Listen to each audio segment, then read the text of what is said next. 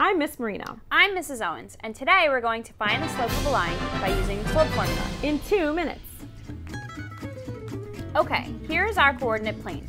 Let's grab our two points, 5, 2 and negative 3, 4, and then draw our line. We can clearly see that the line is going down. That means negative slope.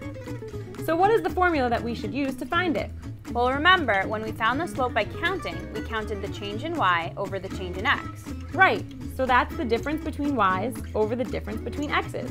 And difference means? Subtraction! Exactly, so let's set up the formula using the unknown variable m as our slope.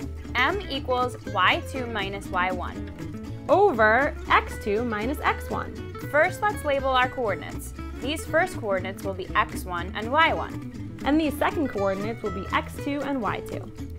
Now let's substitute our numbers. Be sure to keep everything in the proper order.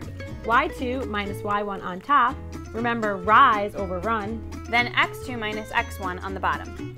So that's m equals 4 minus 2 over negative 3 minus 5. On top, we end up with 2, and on the bottom, we end up with negative 8. If we simplify it, we get 1 over negative 4. Our slope is negative 1 over 4. To check, let's begin at one of our points. We go up 1 on the y-axis, then left 4 on the x-axis. It falls on the line. And that's it! Find the slope of a line using the slope formula in two minutes.